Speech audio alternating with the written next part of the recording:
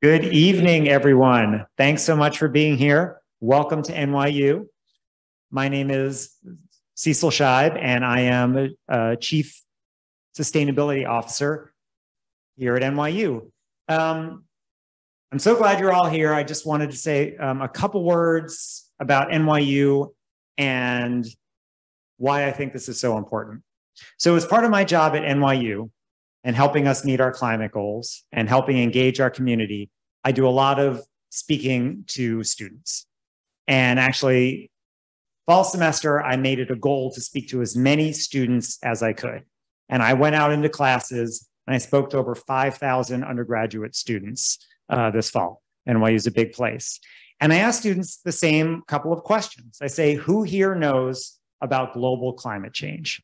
Basically, every hand goes up, right? The kids that are coming to us for college, they know what's coming. They've seen the papers, they've been educated.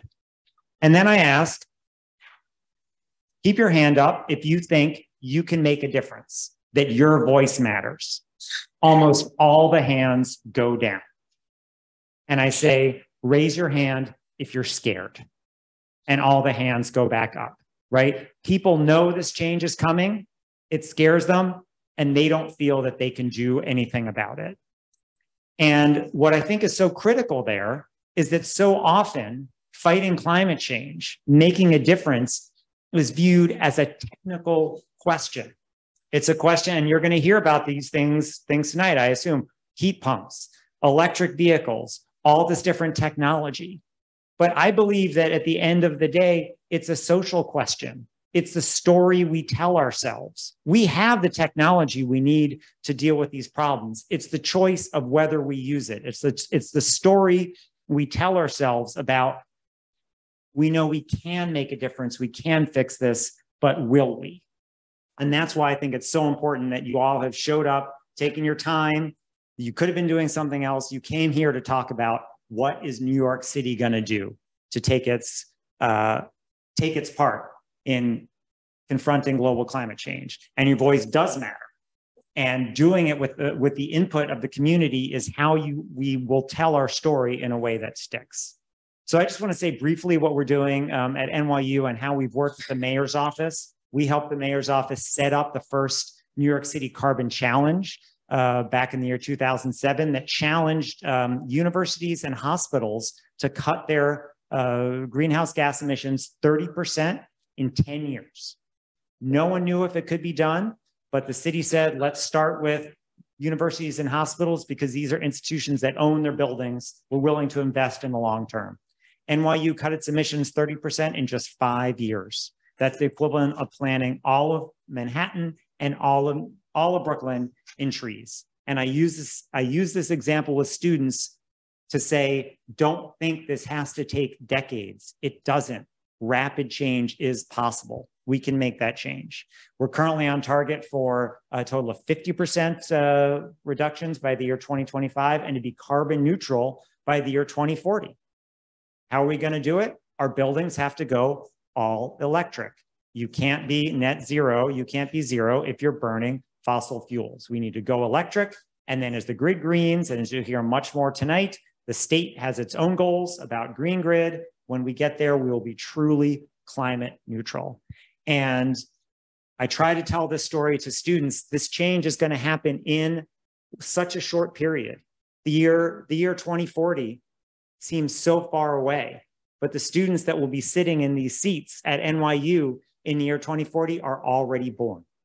We have one short lifetime between someone being born and they coming to this building to study engineering, to study to study something else to to uh, get this right. So we've always been very pleased to partner with the mayor's office. So happy to host tonight. So happy to see such a great turnout on, on a cold night. I want to give a particular shout out to the folks in Tandon's Sustainable Engineering Initiative and Andrea, Andrea Silverman in that initiative, who has something called FloodNet, which is warning um, uh, for the uh, Gowanus uh, neighborhood that has flood sensors that lets people in the neighborhood know and gives them warning when a flood may happen so that they can be uh, be prepared because at this point we have to do more than just mitigation. We have to think about adaptation as well because this changes here. Um, I'm going to turn things over to Claudia and I want to say thank you for coming and have a great discussion. Thanks so much, Cecil. And thanks so much to NYU for hosting us. It's really wonderful to be here. It's such a beautiful building. I've never been here before, but it's a great space for this conversation. Um, and thank you so much to all of you for coming out on a Thursday night. I know it's a long event and everyone's cold and tired, so really appreciate you making the effort to be here with us today. Um, so I'm Claudia Villar Lehman. I'm an energy policy advisor with the New York City Mayor's Office of Climate and Environmental Justice. Um, you may have previously heard of us as the Mayor's Office of Sustainability or the Mayor's Office of Resiliency. Um, under this administration, we've now combined to think more holistically about climate planning from an equity perspective. Um, so I I'm excited to talk a little bit about New York City's goals and our initiatives here with the Power Up project, and then I'll hand it over um, to our excellent CBO partners who we've been working with, our community-based organization partners who we've been working with to organize uh, these community town halls and other outreach and engagement events to make sure that you as New Yorkers have the opportunity to participate in the energy transition planning process. Um, so I'll just start with a high level overview. So of course, New York City is committed to carbon neutrality by 2050, and that includes 100% clean electricity by 2040. Um, but we really need to be doing that while focusing on equity and inclusion. So um, that's sort of the new mission of our Climate and Environmental Justice Office. Um, we need to be prioritizing air quality improvements, particularly in communities um, that have the most impacts on health and air quality, poor air quality outcomes. Um, and we need to be thinking about democratizing energy information. It is very difficult for an average New Yorker to participate in energy planning, even if they care about climate change, even if they care about clean energy, um, just because those planning processes aren't always transparent and they aren't always easy to access because they're so filled with jargon. So that's part of the goal of tonight is to really um, try to put some of these concepts into plain language and invite you all to comment and give us feedback on what your energy priorities are um, so that way we can incorporate them into the planning process. Um, affordability is a huge issue in New York City. So uh, one and a half million New York City residents are energy cost burdened, which means they're paying too much of their income on energy bills. And so as we transition and make all of these new investments in clean energy, we need to be thinking about how to direct the benefits and the savings that can be associated with that towards those who need it most. So that way people can afford to pay their energy bills in New York City. Um, and of course, we need to be doing this while thinking about resiliency. So reliability, making sure that people um, don't have to deal with outages, even as we're transitioning to clean power and even as the impacts of climate change are intensifying. So we're really um, in this unified office trying to think about and address all of these problems holistically as we embark on this uh, energy planning process. Um, so environmental justice and climate justice are part of our office's name. So I just wanted to spend a moment talking about what that actually means. Um, we want to make sure that we're ensuring access and inclusion in planning and decision making, like we're uh, uh, hoping to try to start tonight. Um, and we need to really be focusing on the disparities in environmental health and quality of life, life outcomes um, between different New York City neighborhoods and really prioritize frontline communities. Um, climate justice, of course, uh, very similar themes, but really focused on communities that are most vulnerable to a rapidly changing climate.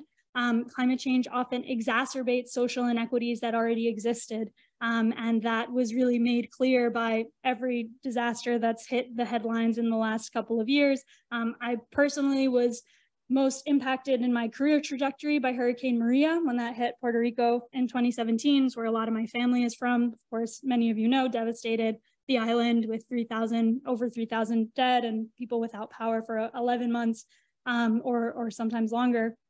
And that's really one example of um, systems where that are already sort of broken, really impacting people who are already marginalized from the planning process. And energy, I think, is a really exciting space where you can both address uh, reducing emissions and helping to reduce the impacts of climate change in the future, while also building resiliency to the impacts that are already baked in.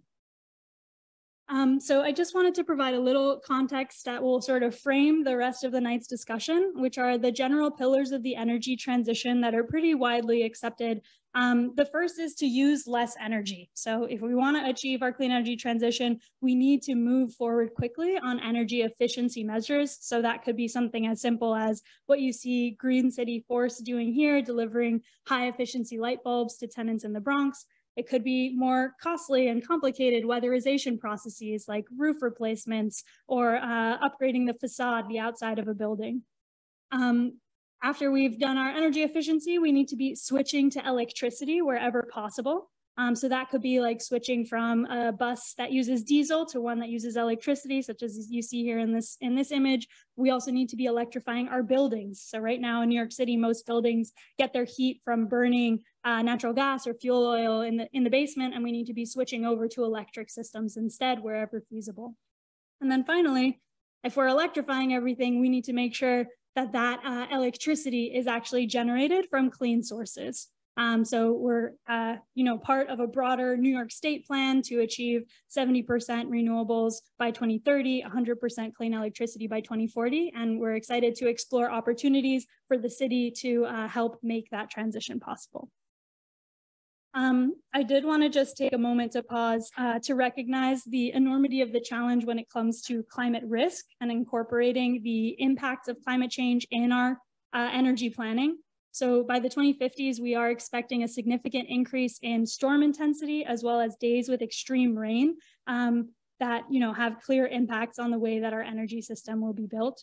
We're also expecting nearly two feet of sea level rise. Um, and by the 2050s, up to quadruple the number of days above 90 degrees Fahrenheit. So that'll basically mean that our summers in New York feel more like Birmingham, Alabama summers than a New York City of the past. So it's a pretty uh, extreme challenge. And um, I think it's just uh, another, another way to emphasize how important it is to be thinking holistically about our energy planning challenges. Um, so what is Power Up NYC? That's the name on the flyers that hopefully brought you here tonight. Uh, Power Up is an inclusive energy transition plan led by the New York City Mayor's Office. And it's sort of got two main buckets in, in the process. The first is why we're here today. We want to be championing and prioritizing and understanding New Yorkers' priorities when it comes to the energy transition. Um, so we've been doing a lot of community outreach and, and listening opportunities to better understand what you guys would like to see in the future. And then the second part is research oriented. So we have done a lot of work, both at the city and the state, to understand what is going to be needed for the energy transition. So we wanted to be very conscious as we were planning Power Up to not reinvent the wheel. We really wanted to build off of what we already understand and then identify specific gaps where research has not yet been conducted that um, where answers would really be helpful in understanding what the next steps of city government action should be to help catalyze this transition. Um, so you'll hear more about those specific research areas in just a few minutes. And then where are we headed? So the end goal is that we're going to publish uh, a plan, an energy plan next April for Earth Day. Um, and that will really identify specific actions that New York City government can take um, to move forward this equitable energy transition citywide. Um, that being said, this is the first of a long process. So we are required by law to put out this energy plan every four years, which is a good thing because this is going to be a very iterative process. And what we need um, in the next four years is going to be very different than what we need in the next eight or 12 years. Um, so after this process, after this plan is published, it's not the end of all planning, but it will be an opportunity to uh, try to implement the strategies that are outlined in the plan, assess our progress, and then repeat an analysis um, in the years going forward. So it's really a long haul commitment. So hope you're hope you're in it with us.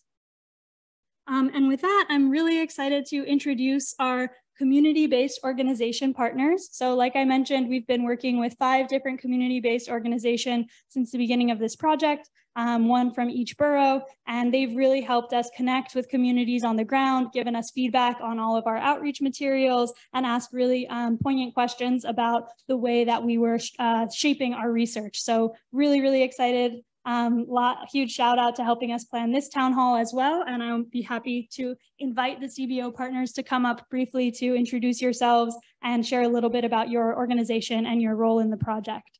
Um, so I guess, can you please join me in welcoming the CBO partners?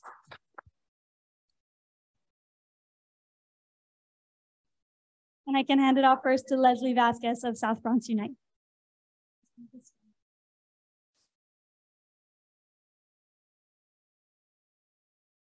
Hi, everybody. My name is Leslie Vasquez, and I am the Clean Air Program Coordinator at South Bronx Unite. And South Bronx Unite is an organization that serves the Mott Haven and Port Morris communities of the South Bronx. And in those two communities, there are 60,000 residents and one small park available to them. That means that uh, we do not have accessibility to green space and we have a lot of injustices that come out uh, because of that. We have three major highways. Our coast is dotted with polluting facilities, four power peak plants. The list goes on. We have uh, the Bronx Waste Management directed all to our area. So we experience a lot of truck traffic, a lot of air pollution, and we struggle with air quality. Our residents um, suffer with one of the highest asthma rates in the whole country. And so South Bronx Unite wants to transition the South Bronx into a more electrified um, borough so that our communities can thrive. Uh, we have been uh, piled up with continuous injustices that detriment the, the success of our communities, health-wise, economic-wise, social-wise.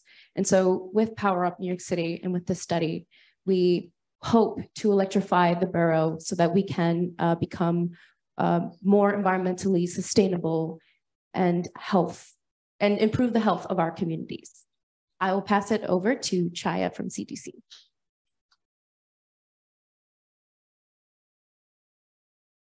Hi, everyone. Good evening. Um, my name is Jessica Balgobin. I am from Chaya CDC, which is a Queens-based nonprofit established to address the housing and economic needs for low-income South Asian and Indo-Caribbean New Yorkers.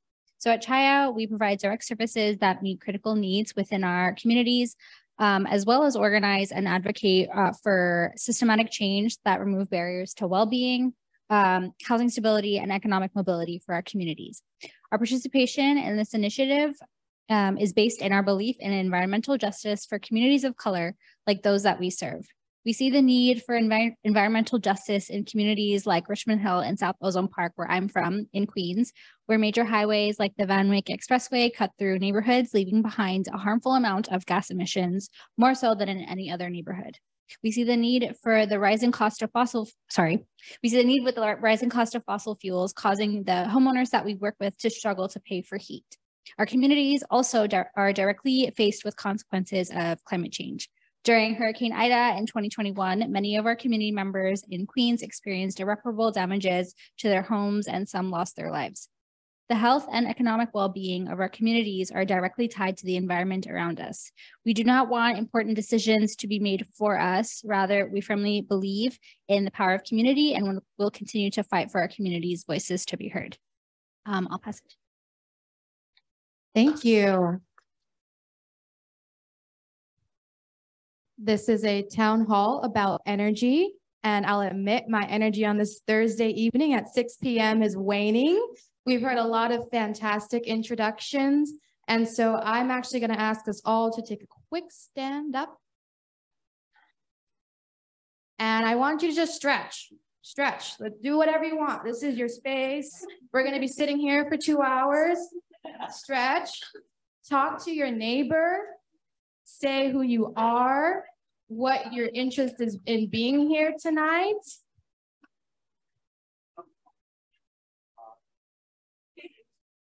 Okay, and when you're ready, you can take your seat. I have the power. Um, and I want to point out we have lovely Spanish interpreters with us tonight. And so for our Spanish speakers in the room, I want us to be mindful of the speed in which we're speaking tonight so that they can best help others understand um, everything that we are saying.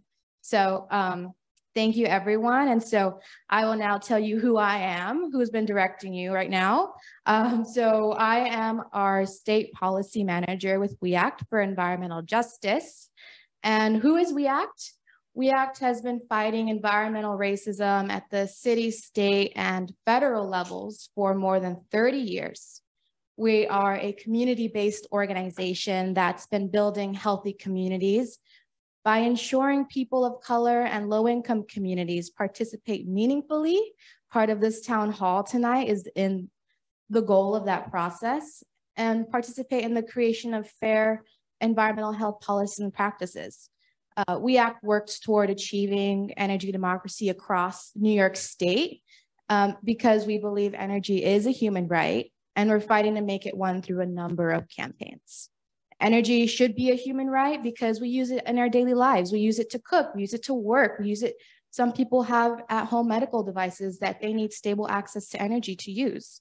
And in our community of Northern Manhattan, we Act has witnessed families spending too much income on their utility bills. We've seen people um, in debt ranging from $500 to $5,000.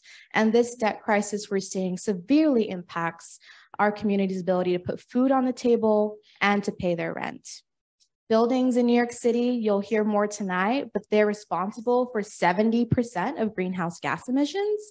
70%, that's crazy, y'all.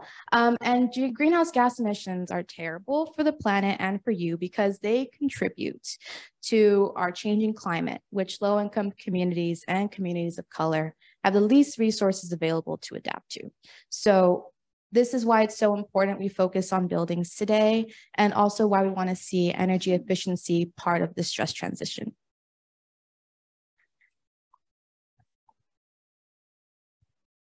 First of all, thank you so much. Thank you for that grounding. I do think it's important to recognize. Um, yes, we are here on a cold, bleak, like winter night. It's a Thursday night. It's we, you know, got slow to to, to get started. So I appreciate all that everyone who is here. And also, I think recognizing like our goals and how uh, we can continue to um, better ourselves and ameliorate and thinking who, who isn't here and how we can continue to expand and be expansive and inclusive in these processes, which is part of the overarching goal. Um, but thank you for that grounding. I appreciate that.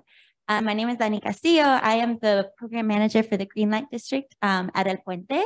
Um, and I do have something written because off. Um, but just to introduce um, El Puente, uh, we are a community human rights institution. We promote leadership uh, for peace and justice through the engagement of our members, both youth and adult members, in um, an intersectional holistic approach of merging the arts, education, scientific research, wellness and environmental action, we're building upon a legacy of fighting environmental injustices in the south side of Williamsburg and have since then expanded. Um, we were founded in 1982. We uh, integrate this, these diverse activities and community campaigns through the arts, through our Green Light District initiative, which is a holistic community de uh, development um, initiative, thinking about um, how we think about community development, not just in and resiliency and sustainability, not just in, in regards to the climate crisis and the current um, climate crisis that we're within and climate change, but how we think about our communities um,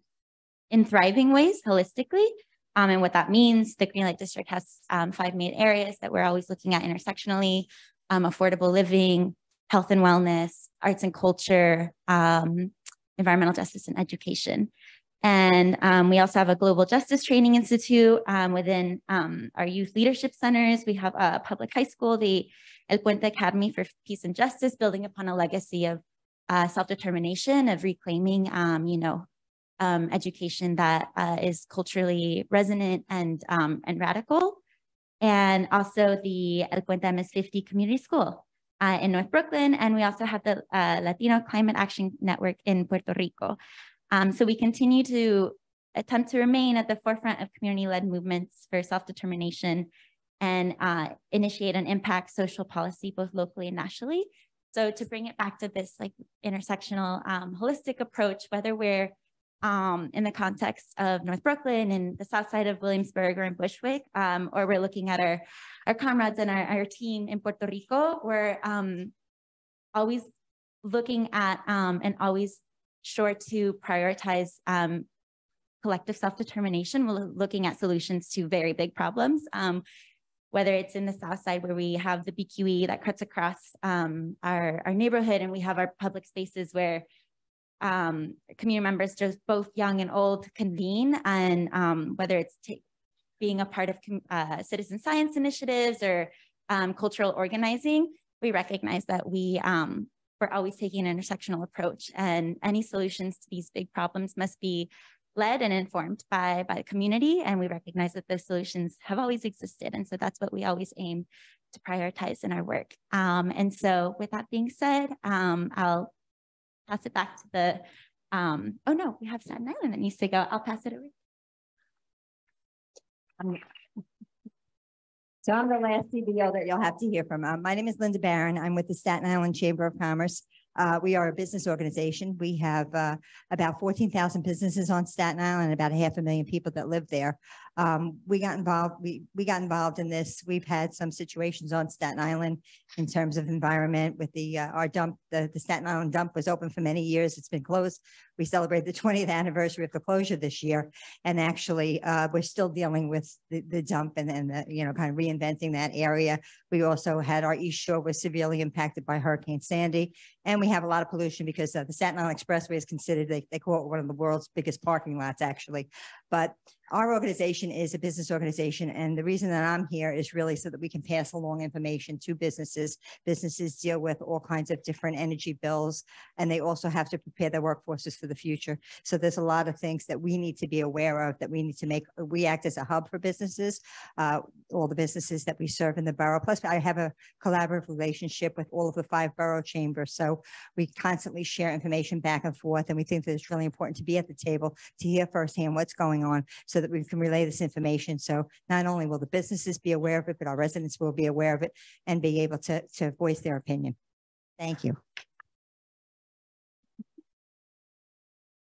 Thank you all so much for being here and for your um, support on this project. It's really been an honor to work with each of you. Thank you so much. Great. Um, I would love to make a few, uh, uh, take a few minutes to introduce Council Member Lincoln Restler. He's here from this council, Uh, this neighborhood is in your district, yes? So it's wonderful that you were able to make it. And if you'd like to come to say a few words, I know you've been a champion for climate action, so appreciate your return. Thank you so much, Claudia. It's great to be here. And I actually was just celebrating uh, NYU Tandon yesterday because one of the buildings here at Metro Tech uh, has just been purchased by NYU and the School of Engineering is expanding, which is a you know great thing for our efforts to solve climate challenges of climate change. And I really want to thank NYU for hosting us and their leadership. Uh, it's it's critically important. And I want to thank all of you for coming out. Uh, as the neighborhood council member, we've really centered uh, the fight against climate change uh, at the top of our agenda here in District 33. Uh, we've uh, released a climate roadmap for how we want to drive down emissions from our buildings, our transportation, our waste, uh, the resiliency solutions that we need to see in our waterfront district here. Uh, we, we just announced a new uh, tree plan where we're going to be planting 3,400 trees in every available tree bed across District 33 over the next four years. Uh, I believe very deeply that the solutions to the climate crisis are in our communities. And it's at town hall events like these where we bring together local leaders, uh, community members to share your expertise and your guidance and your input that's how we're going to make progress together. And I want to thank the community-based organizations who have helped convene us and get the word out, especially El Puente representing Brooklyn, um, and and the mayor's office uh, for for partnering and for engaging, uh, because we need to do this work together, arm in arm, in government and community, to get everybody involved. The solutions to the climate crisis, I really do believe that the climate crisis is the single greatest threat facing the people of New York City, uh, and the time for action is now. Uh, moderation is unacceptable. We need to, to implement the boldest, most ambitious solutions that we can. And I'm really excited to hear from all of you and work with all of you to make these things happen right here in District 33 and across the city of New York. So thanks for having me tonight. Thank you so much. Really appreciate it. Um, great, so we are now going to dive into the research area topics um, because we wanna make sure that all of these somewhat complicated topics are accessible to everyone. We're gonna start each section with a 101 delivered by our community-based organization partners. So really excited to ask Brianna to come back up to talk a little bit about uh, buildings and the ex uh, expected changes we're uh, gonna be pushing for over the next decades. Thank you. Hi, everyone. Thank you. I got a couple highs. um, so as the slide says, people spend 90% of their time indoors, which is crazy. We need to get out more. And that's why it's so important that your building is healthy for you to live in, meaning it's free of health hazards like mold, lead, and asbestos, is safe for you to live in, meaning it's free of natural gas that when burned in your apartment, like from your stove, oops, or from your water boiler that runs usually on natural gas, that that releases toxic chemicals into your air in your apartment. And so we want to make sure that that doesn't happen anymore. Um, that cannot happen by we switch to electric heat pumps that are going to efficiently warm and cool your building, which are that image right there. So we also want to make sure your building is comfortable for you to live in. If you spend so much time on it, in it, you can, you want you to be able to afford the energy you're spending, spending in your building. So I want to do a quick survey with you all. How many of you have ever thought your building was too hot in the summer? Raise your hands. Yeah, me too, me too. Um, what if it's too cold in the winter? Yep, yep. And how many of you have ever thought your energy bill was too high when you saw it? I think that's majority of folks there. Um, so that's unfortunate. Um, but three out of four northern Manhattan neighborhoods are at the highest risk for dying during and immediately following an extreme heat event. These neighborhoods experience high temperatures due to a lack of green space like parks and have limited access to home and air conditioning. Research has shown that your indoor temperature can even be hotter than your outside temperatures. You're not imagining it. Uh, 2022 was one of our hottest summers on record as a result of climate change, and increasing hot weather days leave many low income residents unable to pay energy bills that can go up 30% from running your air conditioning. That's why affordable energy is so critical, given that many Yorkers already cannot afford to own and operate an air conditioner, and that can have deadly consequences. So if you thought your building was too hot or too cold, that's why energy efficiency upgrades are so important. Some examples of what an energy efficiency upgrade looks like is replacing your water boiler, like I said, that usually runs on gas with a heat pump that runs on electricity. You can insulate your walls to keep you cool in the summer and warm in the winter. And you can upgrade your windows to prevent air from coming in. Right now, disadvantaged communities do not equitably receive amounts of funding from the state of New York to complete these beneficial home upgrades. They mostly already go to wealthy communities. And so that's why We Act as pushing the state to fund the removal of lead mold, and asbestos that makes you sick. So you can also receive the funding to install these energy efficiency upgrades that are healthy and make your home safe. So, and they also reduce your energy bill. If you're using less energy to do the same task that you are now, that means you're using less energy overall, and that brings your bill down. So we at We Act envision an energy future that runs on renewables, has electric buildings, gets gas out of your homes, involves community participation in decision making, is affordable, and contributes to the health and well being of you and your family. So, there are some challenges to reducing pollution from buildings. One, New York City electricity is expensive. Two, the labor force isn't yet ready to meet demand. And three, grid updates, grid updates will be needed. And if you have more questions on this, there are opportunities for you to discuss more in our breakout session later. So thank you, everyone.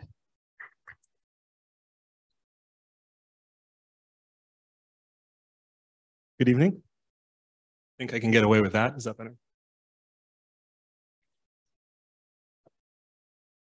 My name is Zachary Satilli. I'm with E3. E3 is the consultant that's been hired to help with the research behind the Power Up study. And before I dive in, we're going to go through lots of topics tonight, but a little bit of housekeeping quickly. So I'd like to first do an appreciation for Kinetic Communities, Daphne and Angel who put this event together.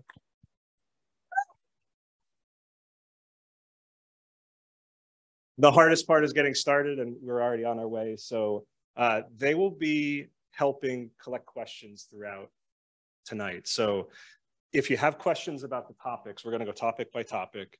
Uh, they're gonna hand out flashcards and collect flashcards so we can have an orderly Q&A and make sure we get to everybody's questions throughout the night. So let me jump into buildings. So for this project, we identified several areas where we felt we needed to do more research so that we can put forward actions that the city can take come spring when we release the report. And buildings are obviously front and center, and that's why we're talking about them first. Building electrification, we're talking about scaling up heat pumps. We must install many, many, many heat pumps. There are a million buildings in New York City. It's going to take a long time to retrofit all of them. The city has really made some strides very recently in this regard. First off, burning fossil fuels in buildings is going to be prohibited in most newly constructed buildings by 2027. That's not that far away. Local law 154 passed in December of last year, and that's jump starting this whole industry. But we know the costs are going to be very significant. So the research that we've formulated is really evaluating how heat pump technologies in different building types compare to the conventional systems that are in our buildings now. We know that there's high upfront costs. We also know that sometimes they're more expensive to operate. However, we also believe that they are going to be significant sources of reduced air pollution and greenhouse gas emissions. So we need to go forward with this plan. And our research is really focused on assessing the cost gap to understand how we're going to fund this. We've focused in a few areas on multifamily housing. So I'm going to walk through how we've landed on this topic. So the research is going to cover lots of different technologies, but we're going to zoom in on what we're describing here as unsubsidized, rent stabilized affordable housing. We chose this for a number of reasons. We felt that market rate housing has already been sufficiently studied. NYCHA has a tremendous plan on how they're going to electrify. And we felt that rent stabilized buildings have very unique challenges. One, there's going to be a challenge on how this is going to be funded and how this is ultimately going to be, who's going to bear the burden of these investments. So on the right, the graphic looks like it got a little screwed up, but the green represents the rent stabilized population as far as units. The blue is market rate and those other smaller sectors are rent controlled public housing, et cetera. So all we're highlighting here is that rent stabilized is a massive part of our building stock. And there's not a great solution on how we're going to electrify it today. So we're going to do some, this is not supposed to be pedantic in any way. We want to show that this is a pretty straightforward calculation that we can do. We know there's going to be high costs. Those costs include the upfront cost of weatherization, which is going to be critical, the cost of the actual equipment, and then many of the costs of things that are going to block electrification, like health and safety repairs that need to be taken care of prior to the installation of a heat pump. We also know that once a heat pump is installed, you're going to see increased electric bills because you're switching from a fuel uh, like gas or oil. However, there's tremendous benefit and there's tremendous support for this. The federal government and the state have fantastic incentives for weatherization. Those can be layered with new incentives for electrification. And then if you saw the passage of the Inflation Reduction Act recently, massive tax credits are now coming forward and the federal government is going to foot a substantial part of this bill. You also will have the benefits of reduced fuel bills when you switch from a fossil fuel to electric. We believe there will be a big gap still. And what our research is focused on is how large is that gap? Where is it most prominent in what sorts of buildings and what sorts of technologies are going to create the largest gap? And then how can the city move forward with a plan that ultimately closes that gap. Claudia spoke a bit about energy burden. So I won't get deep into this, but electricity bills are likely going to increase because gas bills or increase more so than your gas bills will decrease. And what we're most concerned about is renters in a situation where their heat is now on their electric bill. We need to be very clear about ultimately who's going to pay for that heat, whether it be electric or fuel. The government may need to help fill this gap and we ultimately want to make sure that those who are most energy cost burdens are not more so because of this transition. So this is a, a wonky chart, but what we're trying to show here on the left, red is all the costs. And don't focus too closely on the numbers right now. This is a preliminary analysis, but we're using this as a representation of what a retrofit would look like in a pre-war multifamily building that's less than seven stories. You have costs right up front for those health and safety improvements, taking care of cracks, mold, lead, et cetera. We've tried to estimate on a per unit basis over the life cycle of the equipment what that costs. We then look at the incremental cost of the new equipment that you have to pay up front, the incremental increased electricity bill, and maybe some increased O&M cost. And then you start working down the waterfall. And when you get to that blue tall chart, a bar in the center, that's what we envision to be what it costs, where the benefits land before there's any incentive. And really what that represents is a tremendous amount of cost per unit, a massive amount. You start layering in all the incentives that exist today. And when you get to the far end of that chart, you still have that cost gap. So what we're working on now is trying to determine exactly how large that is. So we went through, and we're going to go through all the topics very, very quickly. And I have one minute remaining, but I, I don't need any more minutes because really the purpose of tonight is to flash up what we're doing and where we're at. Most of the research is in process. And then get feedback, have you ask questions, challenge us, help us refine our analysis so that as we go into the into the holiday season and into the spring, we're actually um, making sure that we're landing on, on something that we can all stand behind and that's actually going to move the needle. So I'm going to stop there. And I think we should pause for questions. And I'm not sure how we're going to facilitate that. If you want to do that, pass them to me.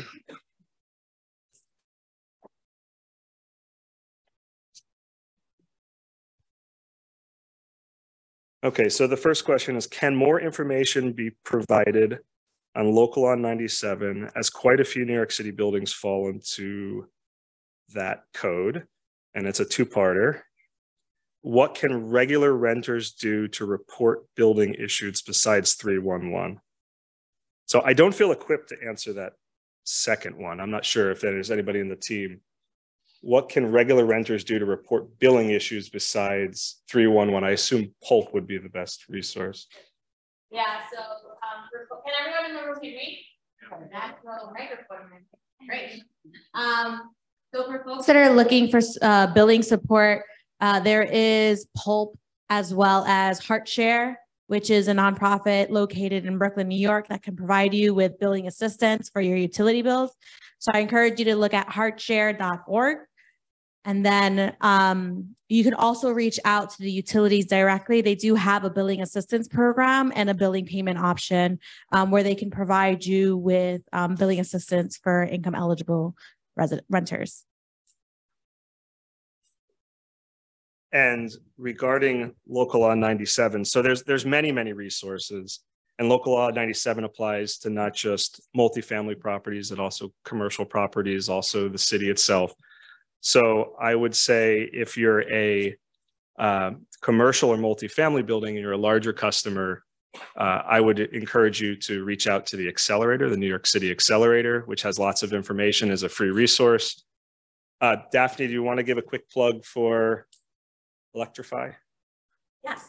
So New York City has two initiatives. One is the NYC Accelerator, which is a free technical advisory program for multifamily buildings over five units across the five boroughs. And so if you need any support, if you have any questions about your building systems and how to make them more efficient, that is a free resource to you all. Um, for folks that are in the one to four family home, there is another initiative called Electrify NYC, which is focused first on health and comfort. So ensuring that you have the proper insulation, the proper health and safety protocols, and then help you look at solar plus um, heat pumps and making sure that they're doing it in a cost effective way that does not increase the financial burden to homeowners. And lastly, there are a lot of utility programs. There's affordable multifamily program and a residential energy program run by the joint utilities of New York. So National Grid and Con Ed and all the other fun utilities um, that are also a free resource to you all. So you can look at their website.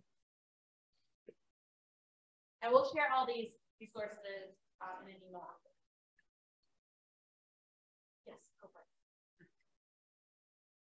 Sorry, guys, I was eating. um, what is Pulp? Pulp is a um, free resource for people to use. They're lawyers and they have all languages pretty much available to you. Um, so you can email them, you can call them, they have a hotline. Their website is utilityproject.org. And so if you do have anything that you need help with regarding your utility bill, if you have a problem with your energy supplier, such as Con Edison or National Grid, you can go to Pulp and they are more than happy to help you. And you can share that resource with anyone else you know struggling with utility debt. What they do is they help you enroll in state programs like some of the ones mentioned. And there are some state programs available to eliminate utility debt right now until December 31st, 2022. Um, and so that is the Energy Affordability Program for anyone wondering. So just wanted to provide some extra context. Thank you. And lots of questions came in. So I'm going to try to get to all of them. Oh, even more. So where's all the electricity going to come from? We're going to get to that one later.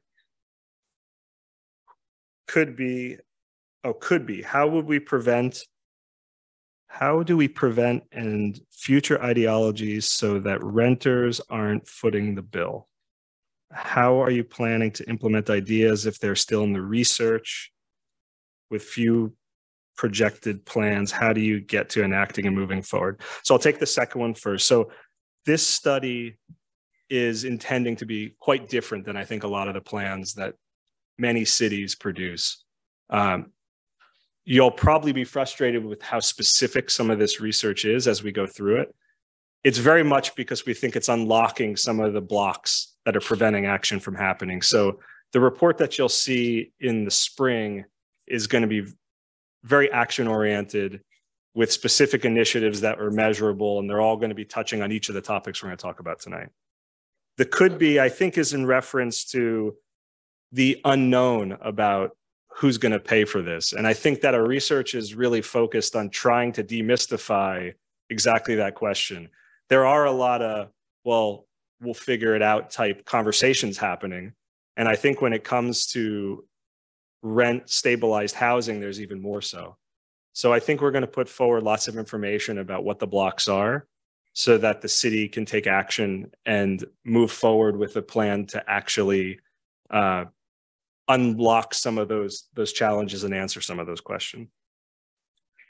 Would the drastic increase in pricing cause a larger disparity? Absolutely. And I think that's why we're doing this research is we feel that that hasn't been identified as large of a problem as it actually is. There is going to be a massive disparity if we don't intervene and make sure that buildings actually have the tools they need to to make these improvements and find a way to fund the improvements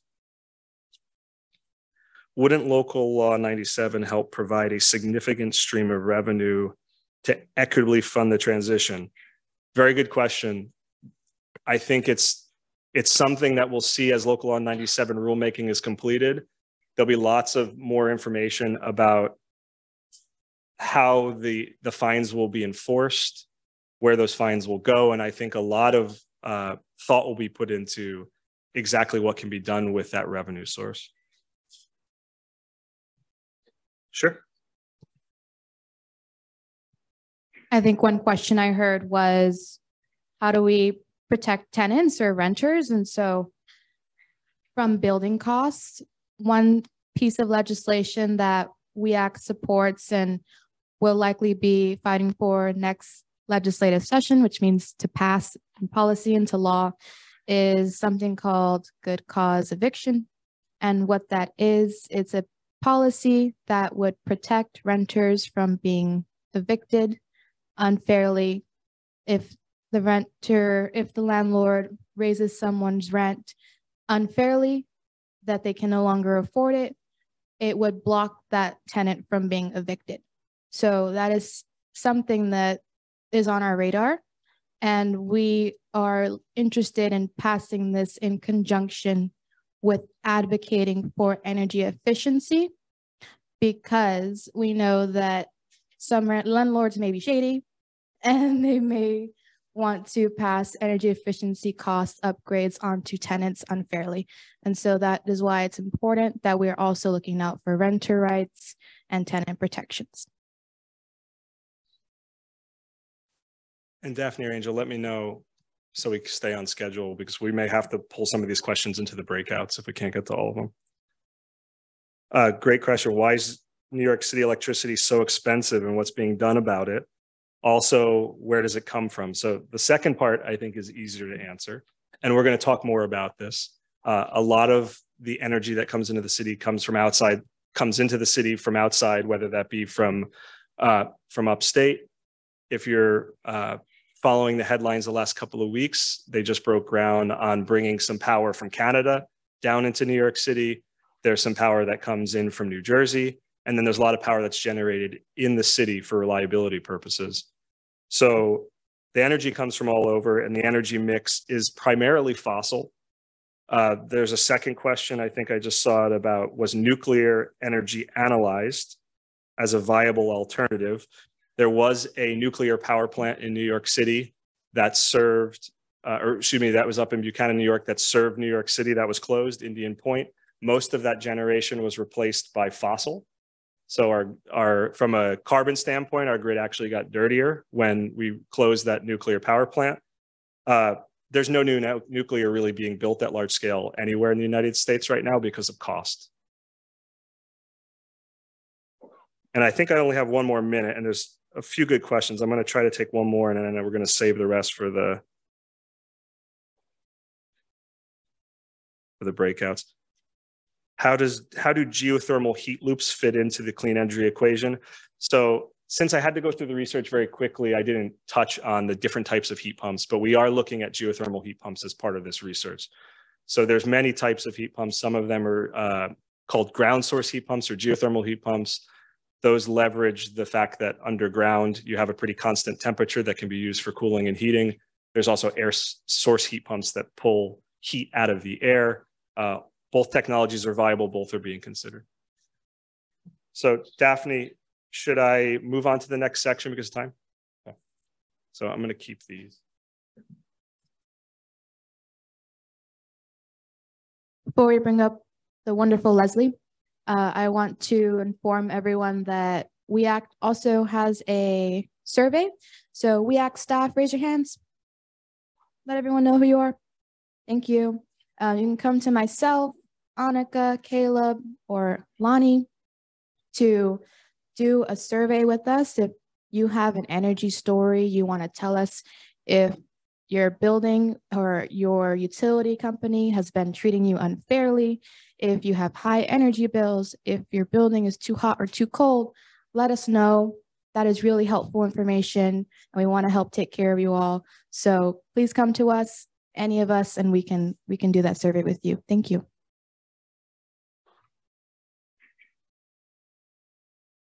Great. I'm, I'm just gonna I'm just gonna take one more because it's a very great question on what does health and safety entail, um, and th- don't put that put that down. This is a good question. So, what does health and safety entail? I just want to go back to that quickly. So, this is a critical point. So, we've included the costs of health and safety, and what that means can mean a variety of things. But before you put a heat pump in, you're going to want to do a lot of things to reduce the overall cost of the system you're going to want to think about energy efficiency first.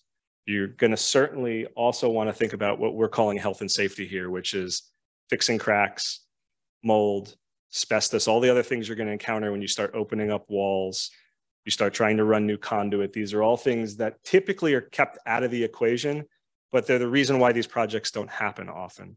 So I just wanted to touch on that. I think that's great. And let's let's jump to transportation so I don't get us too far behind. And Leslie, do you want to join us?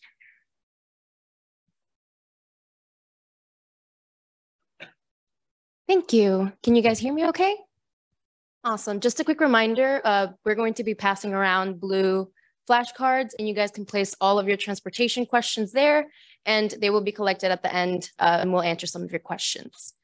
So New Yorkers are, uh, they live in the most transit oriented city in America.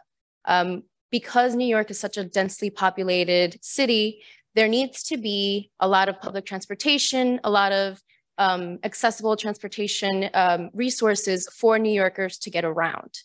Now, New York City um, emits 28% of uh, greenhouse gas emissions and are comprised of transportation emissions. And we are aiming to have 80% of trips taken within the five boroughs um, so that they could uh, be less, uh, so that they could emit, emit less energy, uh, I'm so sorry, less pollution by walking, taking bikes, um, and mass transit by 2050. Now, electrifying vehicles in our streets um, are key in reducing greenhouse gas emissions. Um, if we have electric vehicles, we will no longer be emitting carbon dioxide into the air. And that has a lot of correlations that lead to cumulative impacts if they are not addressed. For example, because we have such high emissions of carbon dioxide in the air, that means that we have that it is able to trap more heat, meaning that in the summer temperatures, our low-income communities that reside in heavily dense um, transportation areas and are next to highways, have buses and trains near them, um, that means that they are the ones who experience the most exacerbated versions of heat vulnerability uh, meaning that transportation is a direct cause to a lot of the health disparities that we see with high temperatures as well. Electrifying vehicles also lowers the risk of respiratory illnesses. As I mentioned, the South Bronx is one of the highest, has one of the highest asthma rates in the whole country. Um, the other boroughs in New York City follow that as well. And so if we have less carbon dioxide in our air and less um, particulate matter emitters um, that cause so much harm in our health, the, in the health of our communities. Electrifying these vehicles also reduces um, that impact as well. It reduces noise pollution as well as um, it ends our dependency on fossil fuels. Now, some of the challenges that we face uh, for reducing pollution from transportation is that there are limited charging infrastructure that allows for the adoption of electric vehicles. So because uh, the charging uh, electric vehicles is not as common as green uh, fossil fuel emitting vehicles, um, the charging stations are limited. However, we plan on um, transition it on having at least 10,000 charging curbside um, chargers by the year 2030.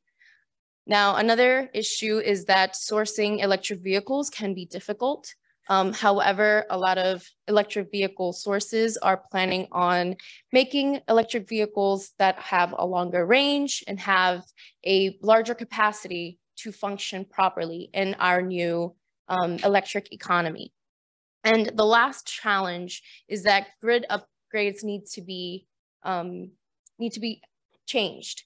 So because electric vehicles have a higher voltage and energy, the grid needs to be uh, more resilient and more reliable so that we can make sure that our vehicles will, uh, will be reliable for our use. And yeah, I think this is the, yeah. You. I already got questions before we started. Uh, so will making transportation more sustainable significantly increase riding costs? So I think it's to be determined, certainly. Um, the challenge with EVs is, is upfront costs. We need to find a way to fund them. Uh, the cost of ownership of an EV is likely to be a lot cheaper. So it's really, if uh, in many ways, it's finance and supply chain. I think is the the short answer there on whether or not it's going to be more or less expensive. And I'll get to these. Let me get to these after because there's a lot. So, uh, thanks. Okay, so we zoomed in here. We're talking about just school buses now. And I think it's important just to highlight some of the progress that's been made recently. So both New York City and New York State require all electric school buses by 2035. And this is going to dramatically reduce the harmful health and climate impacts of the diesel emissions that come from our existing buses. And then also, in addition to that, any new purchase of a school bus needs to be electric by 2027. And those are both very recent announcements. This blew my mind when I first heard it. There's 10,000 school buses in New York City. It's tremendous. School buses are also very expensive today, three to four times the cost in some cases. The good news is that there's a lot of money going into this space. The federal government has put tremendous amounts of money in the Infrastructure Act and has just doubled down really with uh, the Inflation Reduction Act. So there's a lot of funding coming to help seed this market and get school buses uh, into our communities. What we did with our research is we want to just better understand today what the costs are, what the benefits are, compare that to conventional vehicles. We've already committed to doing it. So now we're thinking about how do we defray the cost as much as we can? And one of the areas we're looking at, and I'll talk about more, is called vehicle to grid. And it's thinking about how these large batteries that are going to be sitting idle for large periods of the day and maybe some seasons in the summer where they're getting less use. What can we do with those batteries when they're not driving children around the city? So what we're doing right now is analyzing school bus route data to really understand when these buses need to be driving and when they're not. We really want to know, and it's in the in the field, it's called when do they sleep? When does a bus pull into a depot? When does it pull over to the side of the road? Where are there opportunities to use that bus when it's not operating for its primary purpose? And buses are real. The reason why there's so much interest in, in school buses right now is they have such well defined travel patterns.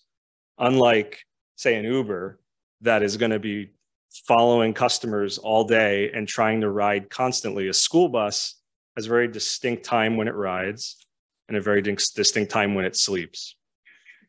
So, what we're doing is looking at different ways that you can control the cost of a school bus and when you operate it. So there's something called managed charging. That essentially is just playing off the fact that electricity doesn't cost the same throughout the day. So there's times of day and times of year when electricity is cheaper and you want to take advantage of those. And you really want to do that not only as an individual, school bus operator, or somebody that's managing the, the buses, but also societally, we want to make sure that we're controlling the amount of electricity that these chargers are using so that we're not increasing the peak of our electric system. The other thing we're looking at is what I mentioned earlier, which is vehicle to grid. And we don't need to get into the, the details as far as the economics right now because we're just getting started with this analysis. But ultimately, the thought process is there's going to be time when you can discharge extra electricity in the battery and potentially get on a tariff with the utility where you can get paid for that. So vehicle to grid is not just applicable school buses, it's really applicable to all vehicles. But we think it's a, that school buses could be a great candidate. And since we've already committed to buying all these, uh, these buses all around the country, we might as well think about uh, this infrastructure and what we can do with it. And then when we get deeper into the analysis, and you'll see this in the fall, when, or excuse me, in the spring when we release it, uh, we're going to be doing lots of sensitivities to think about how to make this cheaper you can charge multiple buses off a single charger that could reduce costs. There's going to be some analysis around more expensive chargers or less expensive chargers based on the power capacity of those chargers and how quickly they can charge. So we're going to be doing lots of iterations of this analysis to try to find the optimal way to actually manage the bus fleet. So I'm going to jump to the next topic and we're going to go through a few and then take another break. So this is grid readiness. This is another topic. So we're building up to essentially this topic. We've talked about electrifying buildings. We've talked about electrifying uh, school buses and other vehicles. So now we're thinking about, okay, this is a lot of new electrical load. And right now, New York City's peak electricity demand currently happens in the summer, really happens during heat waves. And it's really happening when we're blasting our air conditioning as we switch to electric heat, as we add lots of electric vehicles, over time, the prediction is that that peak is going to change to the winter. The reason the peak's so important is because the system is designed to the peak and that's what drives all the cost.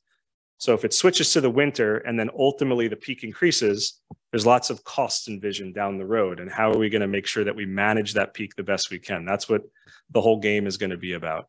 So this is really just trying to predict when and where we think electrification is going to happen it's a tough thing to predict, but there's lots of uh, there's lots of tools you can use to try to envision where this is going to happen first. Some of that's just need.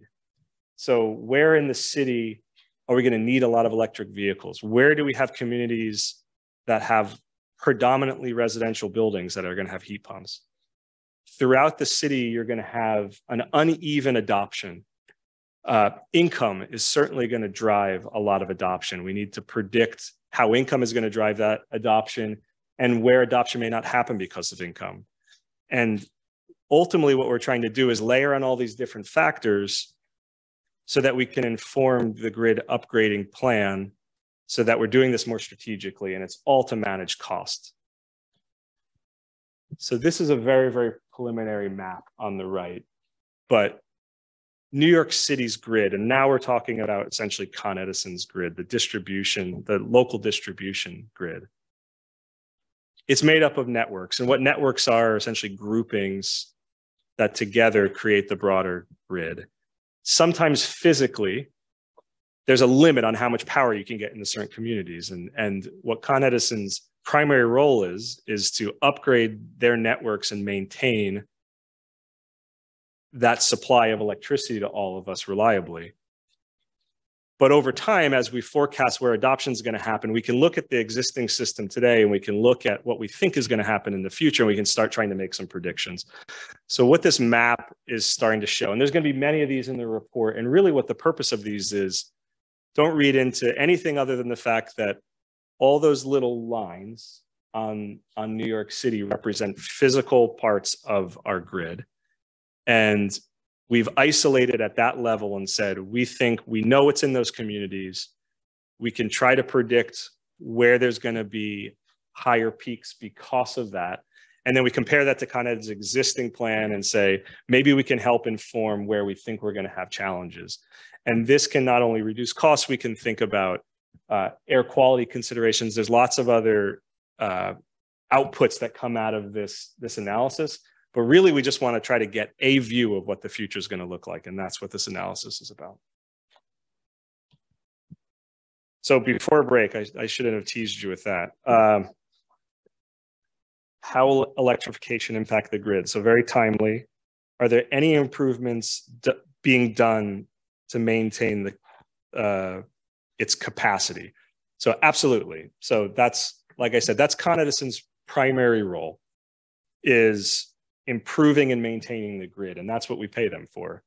Um, and all around the country, there's utilities just like Con Edison that get paid to maintain the quality of the grid. All utilities are now thinking about what electrification is going to do to their grid. And in a cold climate like New York, you have different challenges than you do in other parts of the country where maybe they're not going to have as big a concern with a winter peak like we will in, in New York City we truly imagine that over time, and there's all sorts of predictions on it's going to be 2035 or later, when do we think the grid is going to switch from a, at a system-wide level, a summer peaking grid to a winter peaking grid? The other wrinkle that's happening here is think about when it's really cold and when you need the most heat, it's usually overnight. So now we're also switching to a nighttime peaking grid. The reason why that map is ultimately going to be very informative when it's finalized is it's going to show us that at a system level, you have challenges. And then on a, on a network level, those little shapes on that map, you have even different challenges. Much of the area we're in right now in Brooklyn is nighttime peaking, meaning that in this isolated part of the grid right now, Con Edison is struggling to, to maintain a peak overnight, or really actually to about 11 p.m. And then power uh, uh, usage goes down. In other parts of the city, especially commercial districts, you have uh, the opposite. You have a daytime peak.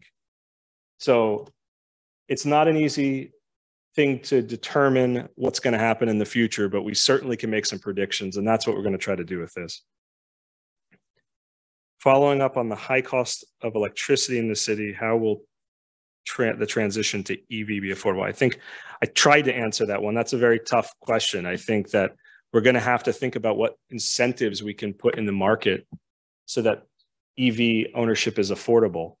Uh, I'm aware that the Department of Transportation, DCAS Fleet, TLC, lots of divisions of, of uh, agencies in New York City are all creating electrification plans on how they're actually going to get more EVs into their, uh, into their fleets. Are you going to use the lamppost as a charging station? Uh, certainly, that's being considered. I, I can't really answer that question. That's not my area of expertise, but I think there's a real challenge thinking about curbside charging. Just think about what happens to any infrastructure that's in the street. Gets damaged, gets vandalized.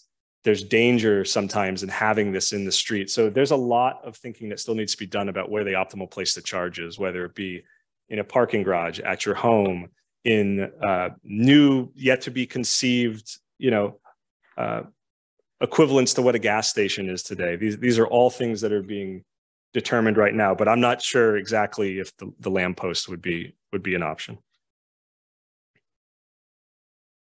Where's the funding for improvements come from? So I think that's that's going to be a combination of the what we pay for electricity and where we take uh, public funds and invest it into the things we want to invest in. And if you're following a lot of the proceeding that the state uh, is going through right now for the Climate Act, so much of that is where are we going to push the funding so that we can make this affordable? With the increased public transportation prices, how will you convince people to take public transit? That, that honestly is, is kind of out of scope for, for our study, but I think certainly uh, the city has very clear goals about how they want to reduce the amount of rides that are actually taken in the EV or in a vehicle altogether. If we can promote and continue to promote public transit, we'll all be better off and we don't have to solve for some of these problems.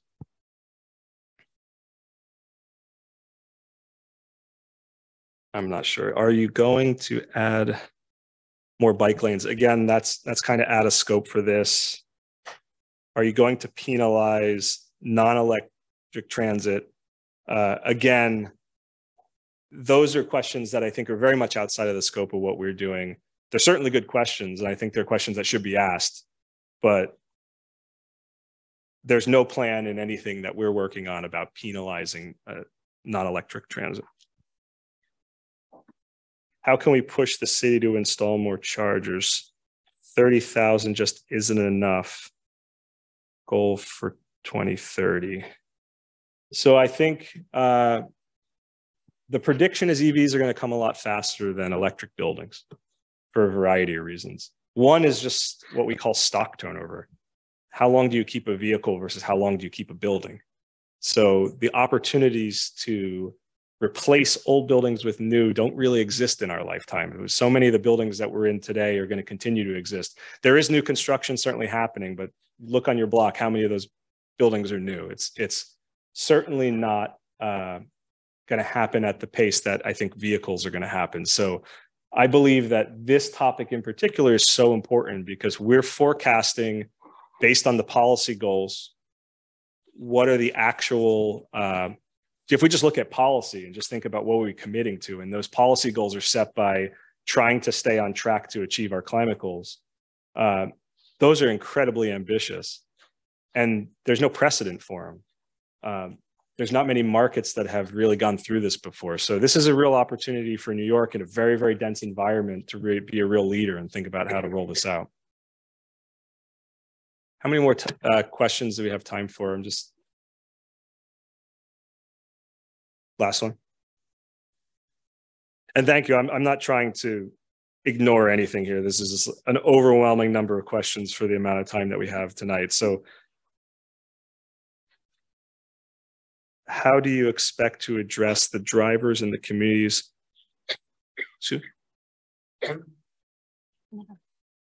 How do you expect to address the drivers in the communities that earn a living from conventional trucks and are not able to purchase electric vehicles? Uh, great question. I, I certainly don't have an answer to this. I will say that there's a lot of truck electrification planning that's going on right now in New York City thinking through uh, those who have fleets.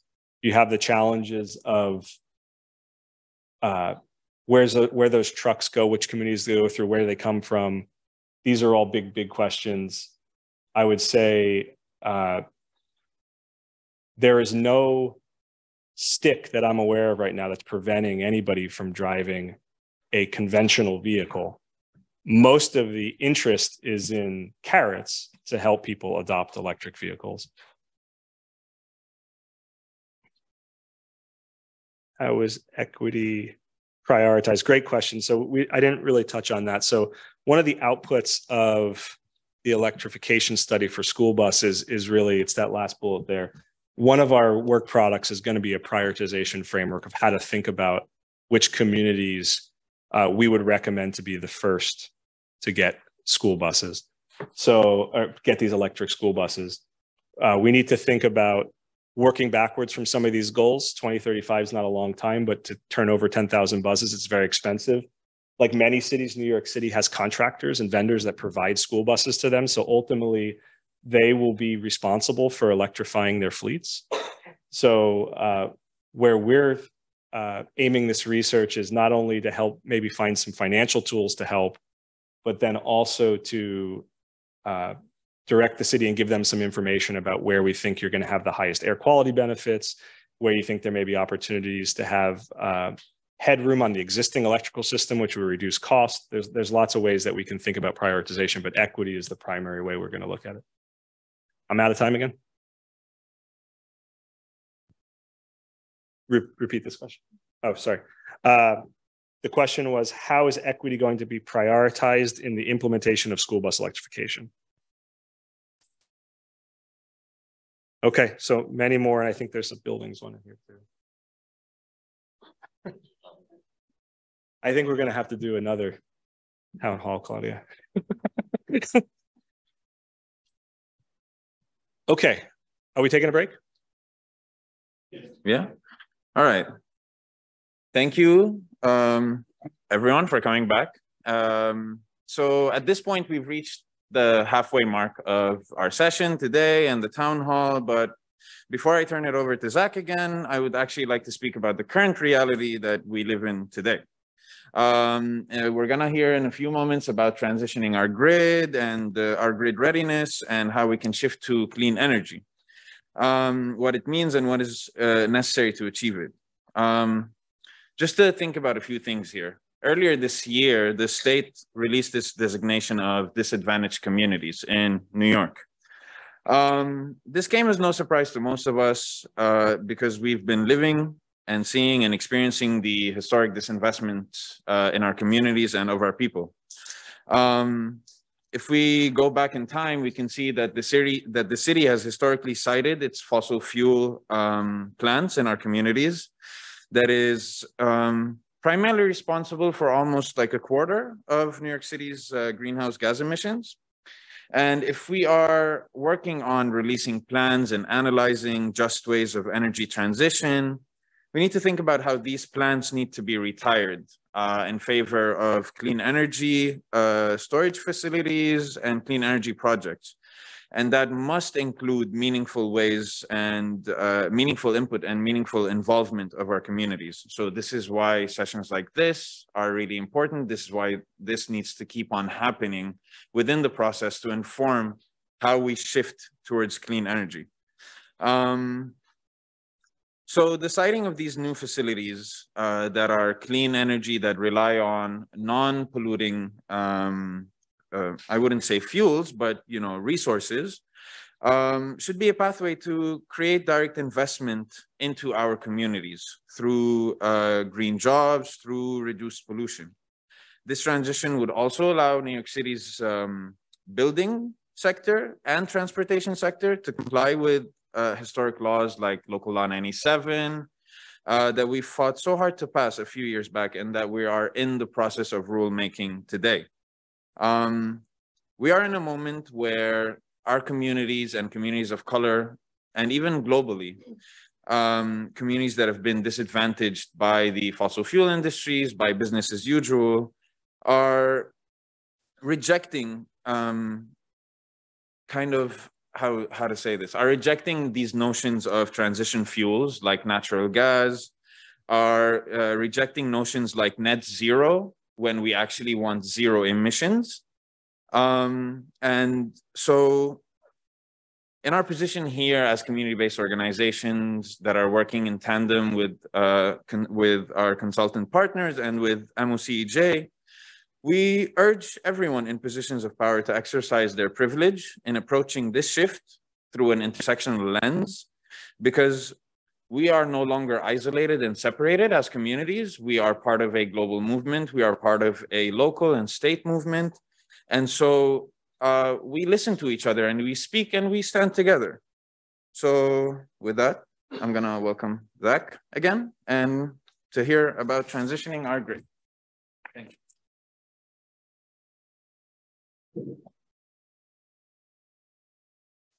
So there's a number of topics in this section. Uh, we're going to start with energy storage.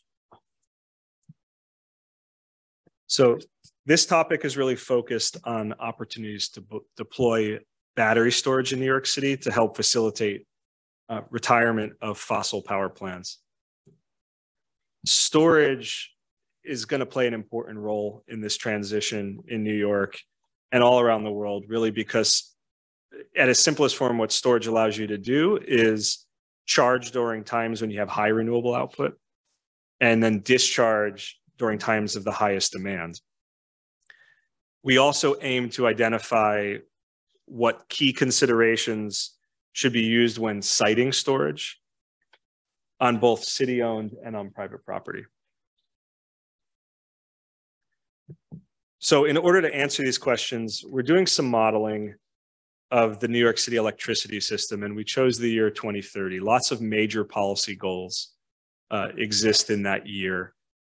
One of the most important is New York City committed to 70% renewable energy by 2030. And what we're doing is we're simulating what we think the electricity mix is going to be in 2030 and assessing the impacts of all the renewable, renew, renewable projects and additional transmission that's being built. And really what the goal is here is we want to identify opportunities for energy storage as a potential solution to offset some of the run hours of these fossil plants that exist in our communities. We also want to identify key considerations where it can be built and we want to develop a prioritization framework, again, similar to the EV research on where those installations should go in order to accelerate the retirement of these fossil plants, many of them in EJ communities. So for this research, as we discussed in the previous topics, we think electricity demand is going to increase. Uh, we know it's going to increase because we're going to have lots of new electric vehicles and electric heat. And you're essentially taking things that are primarily served right now by fossil fuels and converting to electricity. So the electricity consumption is going to increase. And what we've done here is we've said on the left, I'll start with the graphic. So 2021, that's almost today. It's 2022, I know, but we, we're using data from 2021 to just show a baseline of how New York City got its what the New York City electricity generation was in that year. And then to the right is a simulation of what we think is going to happen in 2030. And it's important to do that simulation because there's a lot of commitments already made. There's a lot of contracts signed. There's a lot of new resources are going to come online.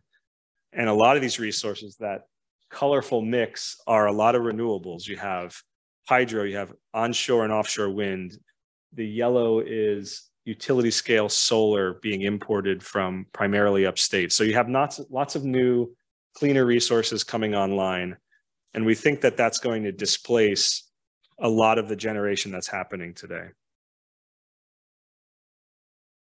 So on this map, the little dots represent power plants in New York City. And the colors, and it may be hard to see, but there's a, a color scale there. And the darker the color, the more we assume that plant's going to operate in this simulation.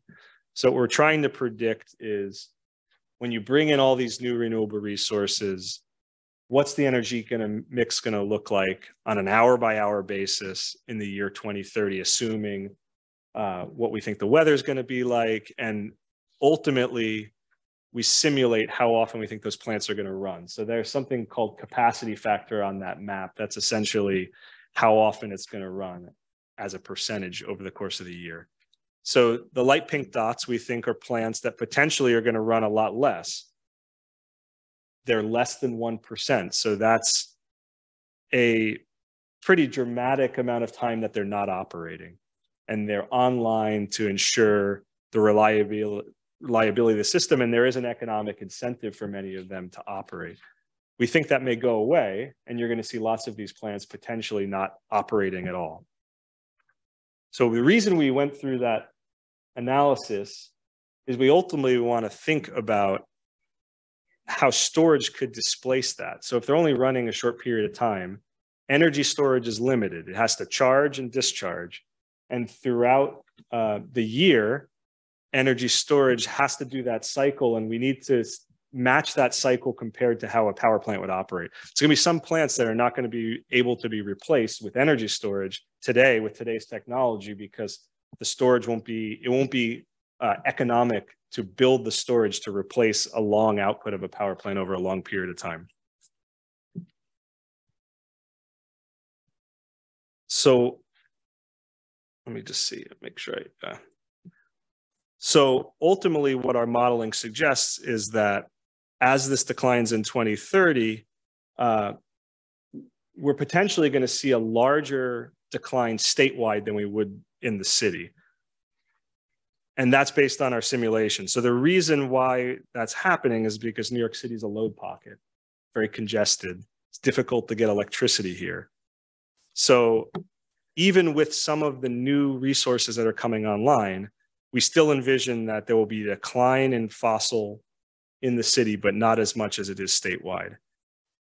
We do envision that some of these plants, many of them, are going to retire. They're going to have to retire because of regulations that were passed on their air on air pollution. So many of these plants in the coming years are going to close because of policy.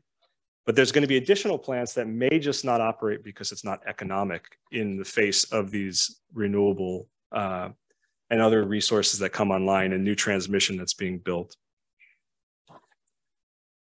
So on this slide, there's additional dots and what those additional dots represent, the power plants are still there, but those additional dots are, we're doing a pretty detailed assessment of the tax lots, uh, both public and private, that potentially could be good candidates for storage. And right now the analysis is looking at the size of the lots, we're looking at zoning, we're looking at permitting and safety restrictions.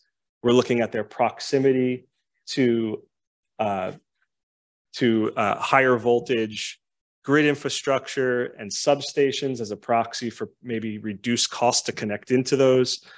And then we're also obviously in New York City where land is very valuable. There's lots of competing resources and there's also lots of very important reasons why storage may not be the best candidate. So there's lots of competing uses for this land, but we've tried to pick land that is either vacant or doesn't have other uses identified and just use this as an opportunity to start a dialogue around whether or not there's enough room on that land to put large batteries that can ultimately uh, help with the potential closure of fossil plants in the city. So lots of questions, and I'll try to take them in the order I got them. Um, what effort is being done for a smart grid locally built? So Con Edison has been installing smart meters for, for several years now. I can't off the top of my head say exactly when they're going to be completely done, but I know they've been going borough by borough and putting smart meters in. Smart meters are seen as kind of the underpinning of a smart grid, starting to be able to get more granular information about when people are using electricity and what opportunities there may be to shift. I'm out of time already? Wow. All right, I'm going to try to answer a few more.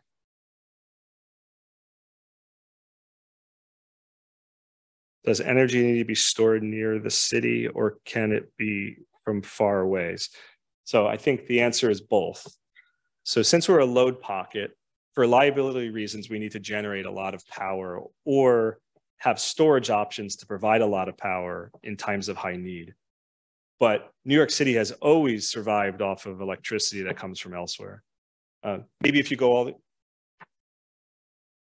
sure. Um, maybe we will, three minutes now, okay. Maybe we will be, uh, if you go all the way back to the first power plant that was built in New York City, we were pretty self-sufficient then, but it's been a long time since we've been able to survive without importing power. And that is likely to remain the case for a long period of time. What percent of New York City emissions are associated with peakers? I don't know the answer to that. Uh, we certainly can calculate it, and others in the room may, but I, I don't know that answer off the top of my head. I will tell you that uh, 70% is associated with buildings, but within that 70% is, is the, uh, the electrical consumption. There's no way I'm going to get to all these in three minutes. Um, when the when the materials used for sustainability, who, how will they be disposed of chemicals? Okay, I think I understand. So this is this is a common question that many ask.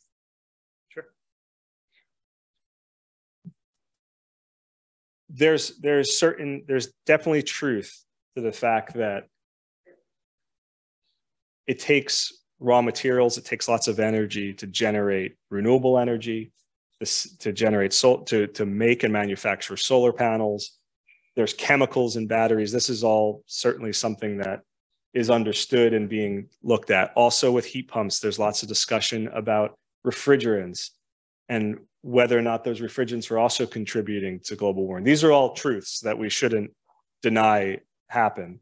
Uh, and it's also something that is very much in the in the dialogue as we think about this transition. I think the one thing that I can say with absolute certainty, because most of what I've said tonight is, well, we're trying to figure it out we are definitely going to install technology and then replace it.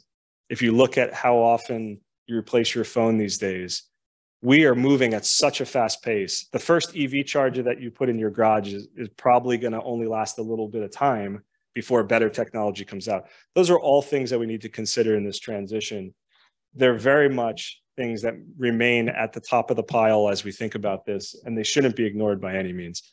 But there's no easy answers to that. I think we need to weigh the needs of communities versus the needs of the city versus the needs of our economy and start thinking about these and having a dialogue about these simultaneously and making some clear-headed decisions about exactly which of there's no panacea to any of these these questions.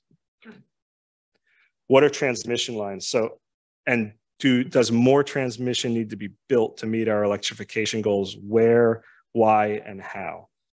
So in its simplest form transmission lines are just larger larger electrical uh, lines that transmit higher amounts of electricity over longer period uh, longer distances so when we think about uh, the wires that serve your home, those are much smaller. They carry less voltage than the ones that are much larger that you see maybe um, in your communities, you may see them uh, when you're driving along the highway. Uh, those are transmission lines. They, they carry uh, higher, more dangerous voltage of electricity over longer periods. And we do that because there's less losses. Uh, we certainly need more transmission. So the state has committed to building lots of new transmission. Uh, transmission hasn't been built in my lifetime in this area. And for the first time, it is actually being built. Uh, it's very, very expensive. There's lots of challenges with land use. And New York State has committed to build uh, uh, two major transmission lines that are going to help New York City bring more clean power into the city. One is the Champlain Hudson Power Expressway, which I alluded to earlier, which just broke ground, and the other is Clean Path. Those were both awarded um, contracts recently. And more transmission will definitely be necessary because we're talking about lots of more electricity needed to, to uh, fuel this, this transition to a cleaner grid. Okay, I'm out of time on that topic. So I'm going to move as quickly as I can through. I think there's two more. So urban wind, this is a fun one. Uh, and it's fun for a few reasons. One is we're not going to talk about what I think most folks would want to talk about tonight, which is offshore wind. Now, offshore wind is a major part of New York City's commitments, uh, excuse me, New York State's commitments. And then really every state on the Atlantic seaboard is thinking about offshore wind in a major way. Here we're talking about urban wind, and we're doing this study. This is a requirement that came from uh, local law uh, can't remember off the top of my head exactly which one. It's several years old, but we're looking at uh, whether or not there's a big opportunity for smaller wind turbines. So you see on the right, that's the only commercially uh, commercial scale wind turbine that's in New York City. It's in Sunset Park at the Sims uh, Municipal uh, Recycling Facility. I think it's roughly about 100 megawatts. And that's the only one that's been built. There are several other on the right, you'll see smaller, different types of technology. These are attached to rooftops. And then Sims again is in the bottom corner. These are the best examples of wind that's been done in New York City. And I won't say they're great examples for a number of reasons. One is small scale wind is very expensive compared to larger resources. There no, there's no economies of scale. And then in the built environment, there's lots of physical reasons why urban wind is difficult one is because if you think about wind coming into the city, it's not to say it's not windy in New York City, but when you think about how these wind turns operate, they, they like strong wind that's consistent. In New York City, you have gusts of winds and turbulent winds, and that's all cities have this, where as the, the wind comes in, it gets uh, it gets moved through the buildings, and and it just it's not in a in a format really that can allow these uh, turbines to, to operate well. So there have been a few successful installations, but most of them are not economic. And most of the trials that have been done in New York City have not proven out to be uh, viable. So what we did is we did some modeling. On the right, you'll see uh, we are looking specifically at taller buildings, thinking that there'd be uh, good opportunities on maybe the taller rooftops. So what we have are dots for buildings that are over uh, 100 feet or waterfront areas that would be good candidates. And really what we determined is that uh, less than 1% of the, the lots we looked at were really good candidates. And most of our modeling suggested that, that there'd be poor, uh, there'd be a poor wind resource, meaning that it wouldn't generate enough electricity for the cost, um, especially when you compare what, what else you could use that land for or that rooftop for. In almost all the lots we, lots we looked at, uh, there's more opportunity to generate electricity with solar than there would be wind. So our key takeaways of the study, and this is probably of all the research that we've done, this is the one that we're the furthest along on kind of what our final takeaways are. And that's that urban wind really has limited potential with today's technology in New York City. And we're not recommending to the city that they should prioritize this transition uh, using these smaller scale wind turbines. And this is my last topic. So do I have time to do this last one? Okay. Okay, so public land. And I saved this one to last. I think this is one of the most exciting ones. And it's really thinking about how New York City can make more progress on its ambitious targets for both solar and storage. So there's a citywide goal of 1,000 megawatts or one gigawatt of solar power by 2030. There's also a goal for storage of 500 megawatts by 2025. We need to accelerate our progress on both of these goals. And one of the ideas is thinking about how can uh, the city as the largest property owner think about making public land available for clean energy to meet these goals. So on the right, there's a kind of a humorous representation of what community solar is. You'll see the, the Castros and David, and it's just a simplified way to describe what, what is really happening here. But we're trying to identify opportunities for the city to scale up community solar. And what community solar would allow is residents to purchase solar power without installing solar panels of, of their own. And there's a lot of reasons why. You could be a renter, many of us are. You could not have an opportunity to, uh, or, or the capital to put it on your roof. There's lots of reasons why this may be a better option. It also provides access to uh, significant access to lower income uh, communities and the opportunity to really capture some pretty nice incentives that exist for bill savings. So what we'd like to do is evaluate what financial opportunities may exist and look at really the city land and rooftops and figure out if there's opportunities for community solar. So the reason why we're so excited about this is the feds have committed to ponying up a lot of money for at least another 10 years. And that's represented by those bar charts. ITC stands for the investment tax credit. That's a primary funding mechanism for all solar today. Essentially is a, is a money back coupon if you have tax appetite. And this is how much most solar is funded today. But with the passage of the Inflation Reduction Act that just happened, they're adding uh, these lighter blue bars. So I'm just going to focus on the far right. For smaller community solar systems, you can now not only get that standard tax credit, 30% back, but you can also get uh, additional funding up to close to 60% if you ensure that there's domestic content in the products, if you're uh, enrolling LMI customers, and if you're located in an LMI location. And tonight we won't get into the definitions of all those, but there's lots of opportunity in New York City to capture these larger benefits. You layer on the state's benefits and you're starting to see a pretty significant deal, 80% off the price of solar. With that, community solar comes actual bill savings for those who subscribe. So I don't have a slide about it, but I think that was for brevity's sake. But let me just quickly describe, I think we're out of time, but let me quickly describe what we're doing with this analysis. So we're working very closely with other city agency partners, including DCAS, who right now develops uh, lots of solar on especially schools. They're putting lots of uh, rooftop solar on their buildings, but we'd we'd like to broach a conversation about whether or not the city could be in a position where it could build community solar and maybe take some minority portion of that actual uh, solar energy for itself and then uh, provide access to uh, low income customers to participate and purchase um, a share of that community solar project. And ultimately, what that comes with is all sorts of guarantees of bill savings and uh, opportunities to be a part of this transition without necessarily having to have the capital to deploy.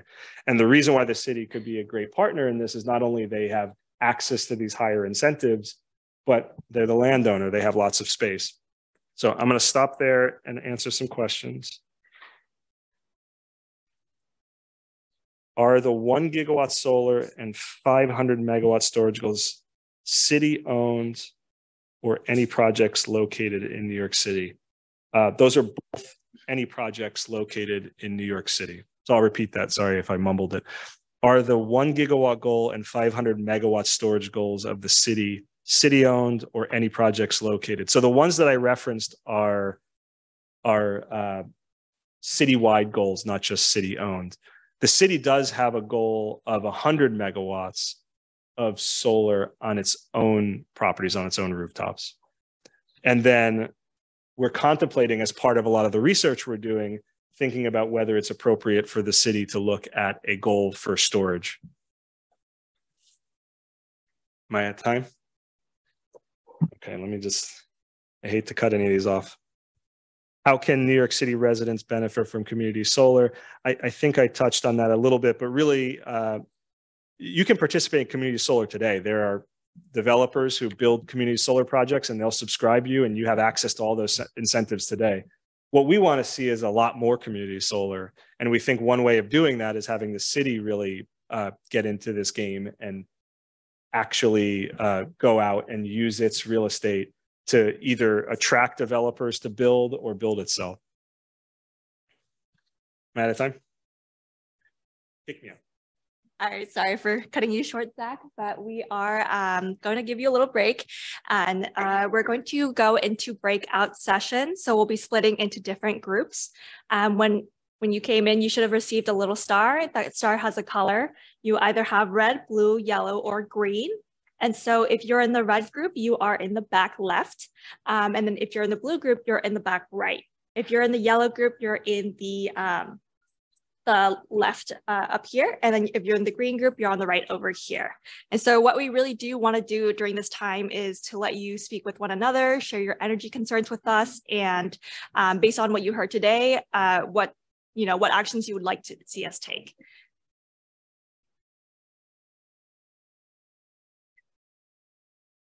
Hi, everyone. Welcome back from the breakout groups. I know we're still in the same room, but um, I'd like to welcome a volunteer from the yellow group to share what was discussed in the group. Me, right? Yes.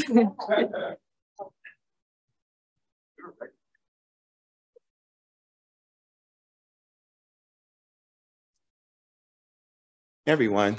Um, my name is LJ. I'm uh, work at We Act for Environmental Justice. I was part of the Yellow Group, and some of the things that we talked about for the first question and some of the concerns uh, that people had um, one of them was talk about smaller buildings and complying with things like local law 97. Um, how do we how do we incentivize that? Where do we get the money to do that? Um, how do we get landlords to actually comply to do that to make these uh, our buildings cleaner? Um, also, one thing, another thing that was brought up was getting this information to lower uh, LMI communities, right? You know, kind of having these kind of sessions, but how do we get that to the communities who need to hear this the most, who don't get a chance to ever participate in this? They, they know that so many things are happening in the city and just things happen, but they don't feel like they can actively be participating in that process. Um, someone brought up uh, the issues with NYCHA that go on in the boilers um, and kind of just NYCHA's kind of plan all together.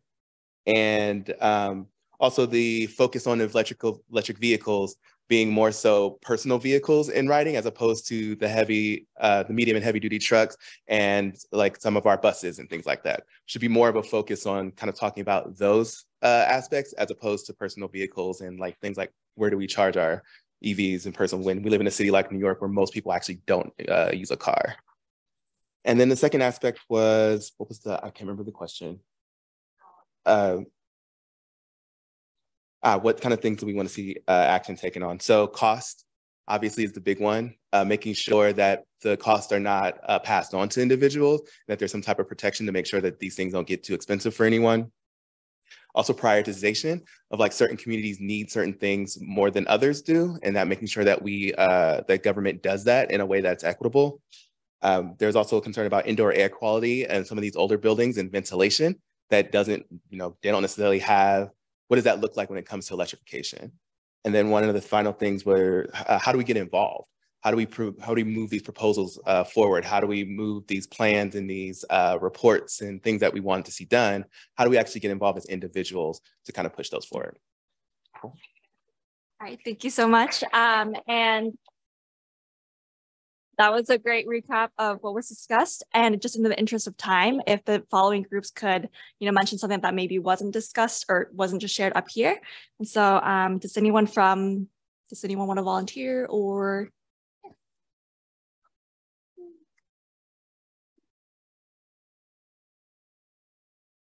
Can you hear me? All right, yes. My name is Calvin. I'm a student at New York City College of Technology. I study engineering. I was part of the Gold Group, we were the gold group. And just the top of my head, some things that we discussed were we focused mainly on buildings and the grid. One thing about the grid is, um, and I agree because I actually did research into it and found out that a lot of infrastructure in the United States and New York in particular, that hasn't been upgraded, it's actually been neglected. I think that is very important as well, that um, it's up to, you know, us, the people to put, you know, uh, Con Edison, these other different companies that, you know, make sure that they know and understand that they have to upgrade it and that they shouldn't just do it for profit. Another thing we discussed was um, buildings and how I know one thing topic I brought up was that with buildings, I think um, the push should be to have everything decentralized. Because I know with um, the, the power structure in New York City, I don't want to say it's outdated, but it's very susceptible to, to failure. And I think decentralizing it will actually be beneficial to everybody involved. And not only that, it will actually force people to get um, have more of an understanding for themselves instead of relying on someone else that how like the power system works and that they'll be more um, responsible for like um, their particular sector. And something else that we discussed was, can't remember the last one, but those are the two things that we mainly talked about. It was an honor to be in that group and thank you for having us. Awesome. Thank you for sharing. And do we have anyone from the blue or green groups want to come up really quickly?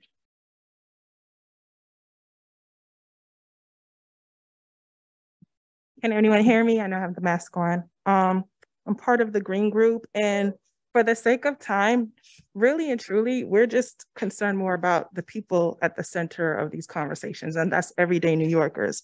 So the things that come up is information, shared public knowledge. Events like these are important, but it's also important to have them on the ground running in these communities that we're saying will be most impacted by some of these changes. Timeline and rollout, land use. And when we're constantly talking about equitable uses of land, how will that translate to those communities? Accessibility, impact on all levels, micro and macro level, and most importantly, who are key stakeholders in this conversation? Not only having pages of information and research, but also visual aids. If I could see a snapshot and see how all the puzzles fit, together, that's something that can be translated to a lot of different communities. I write for a local publication in Brooklyn, and that's probably one of my biggest takeaways from tonight is how can I create a snapshot of this in the story that not only informs them, but lets them know that they're a part of the conversations moving forward. That was something that was echoed across our group, and it seems like it fits in with everyone else's. Thank you.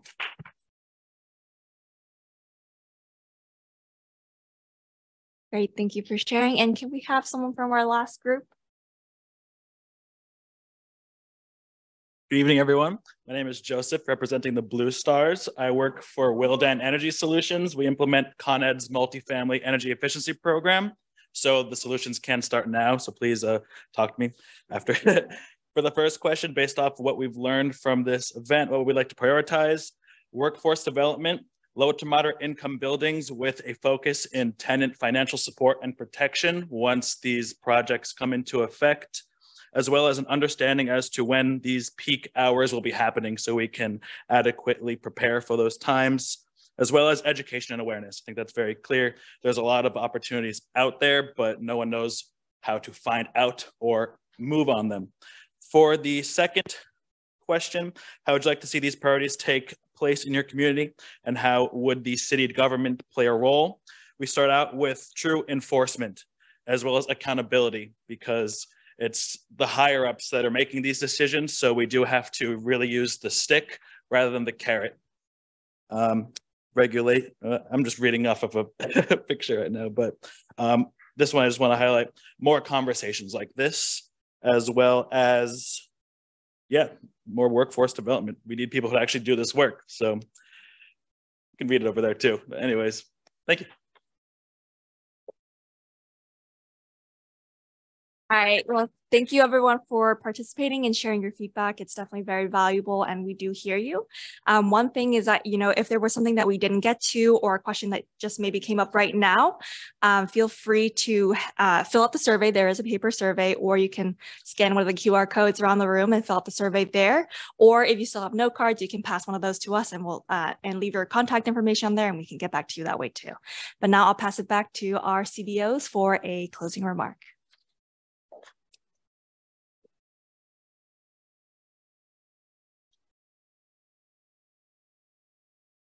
Just want to thank you all for taking your time tonight. I know this was a long session and you all, and I'm surprised that a lot of people didn't skip out at the breakout session. So, but you know, there was a lot of thoughtful feedback that we heard here. It is a, a very, uh, you know, not difficult, but it's a lot of information to digest. Uh, there are some upcoming sessions that are going to be done online. So if you want to participate, that, that kind of drill down in some of these areas and there will be more conversations, but you know, it's really important to have everybody's uh, feedback so that you know, this group can kind of inform its study and, and there will be a lot, a lot more conversations. So thank you all once again for coming tonight.